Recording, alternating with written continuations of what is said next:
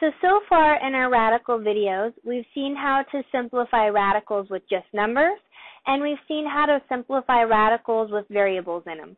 But in both of those specific examples, it's been radicals that have simplified evenly. In this example, we're going to work radicals that don't simplify evenly, and to be honest, this will be more of the case than the other situations.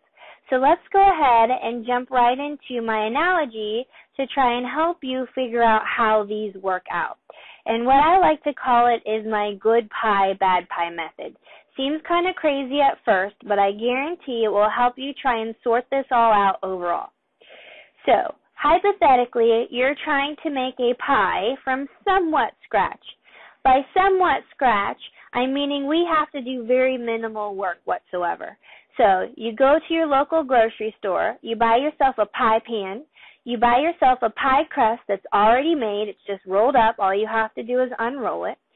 You buy yourself a can of pie filling, and that's all you have to do to make this pie. What we're going to talk about in my good pie, bad pie method is specifically the crust part of this.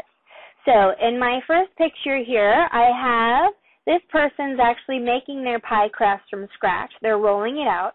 But even if you've bought your pie crust, all you have to do is roll it out. You don't have to mix anything whatsoever. Now, once you get your pie crust rolled out, your next thing to do is to put it in your pan, which is this picture here.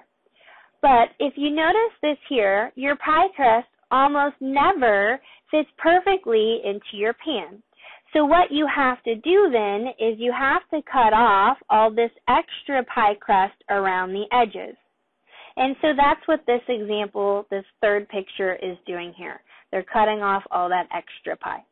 Now after that, you dump in your pie filling, you put in your extra pie crust on top if you want to, you put it in the oven and you've got your pie. You're good to go. So now that I've made you all hungry with pie, your question is, is how does that exactly fit into radicals, into math class? And so now let me try and answer that question for you. And specifically, I'm going to focus on this picture here. So when I put this pie crust into my pan, I'm going to use the pie crust on the inside. And so that is what I call my good pie. That's the pie that we're actually going to use. We're going to bake it, we're going to eat it, so on and so forth. Now, all this extra pie crust are on the outside, the crust that they're cutting off over here, this leftovers, that's what I'm going to call my bad pie. Because that pie crust we're most likely not going to use. Maybe we might put it together to make another pie crust out of it, or most likely we're going to feed it to our dog that's sitting there begging for something to eat. Okay, so what goes on the inside of this pie is my good pie, and what's my leftovers over here, that's my bad pie. That's exactly how it's going to work with roots. I'm going to simplify some of the root on the inside, my good pie, and I'm going to be just left over with some other part of my root, which is what I'll call my bad pie. So I have one specific example down here, but we'll see this in plenty of other examples here in a minute. The cube root of c to the fifth. Now what this means is I'm trying to take groupings of 3 out here.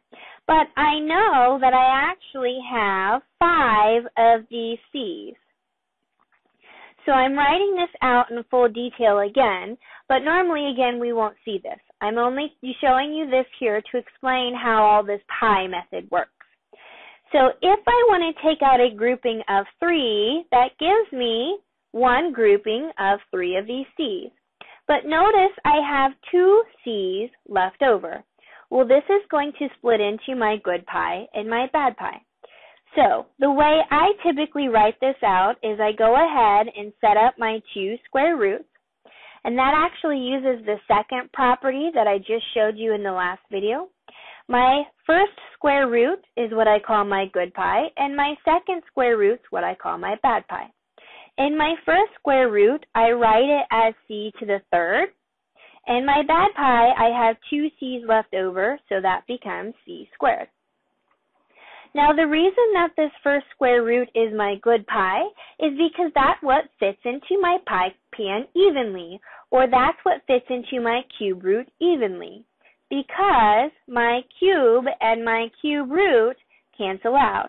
And so that pie, my good pie, simplifies to just give me c.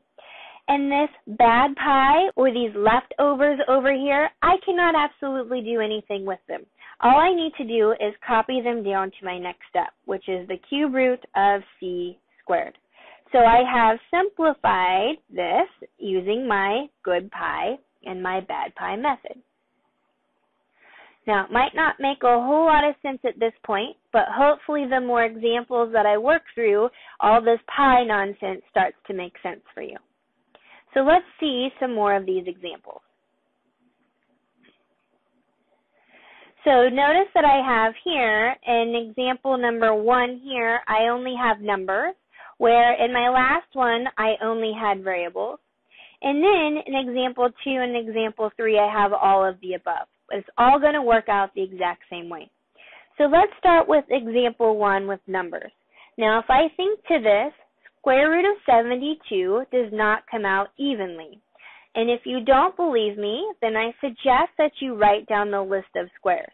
Starting with 1 squared is 1, 2 squared is 4, and so on and so forth. So I suggest that you pause the video and write out your list of squares all the way up to 10 squares at the minimum. Okay, so you can see that I have them written out here, but I don't have them worked out. 3 squared is 9, 4 squared is 16, 5 squared is 25, 6 squared is 36, 7 squared is 49, 8 squared is 64, 9 squared is 81, 10 squared is 100, and if you can go past that, that's awesome.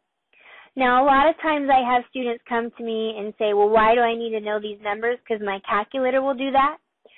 Yes, your calculator will do that, but you will have instances in this class where things will be timed.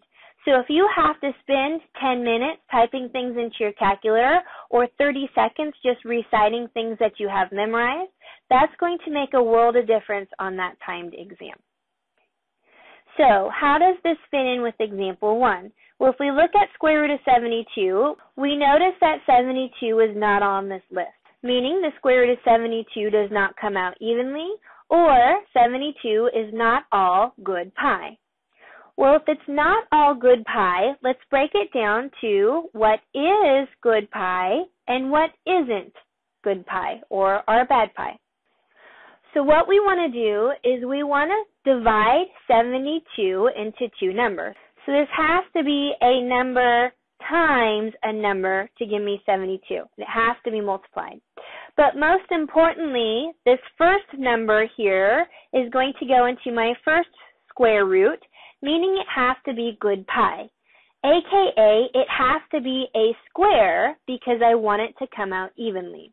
So I look at my list of squares over here and I try and figure out which of these numbers goes evenly into 72.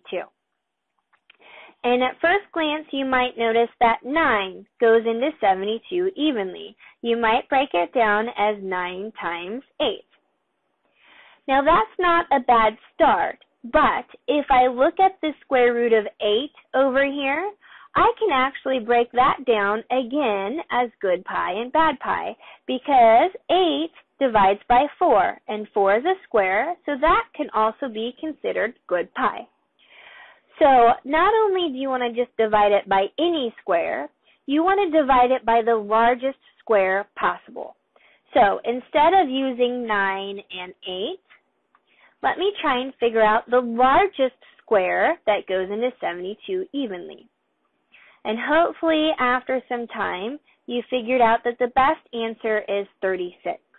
So 36 is my good pie because it's a square and because it goes into 72 evenly by multiplication. And my leftovers or my bad pie is 2 because 36 times 2 gives me 72. Now the whole reason that I want this to be a square in the first place is because I now want to take the square root of it. So the square root of 36 gives me 6 and I have my leftovers of 2. And that is my final answer in this example. Square root of 72 simplifies to be 6 times square root of 2. Because of time, I'm going to stop this video here, but in the next video, I'm going to work those last two examples that you see at the bottom of your screen.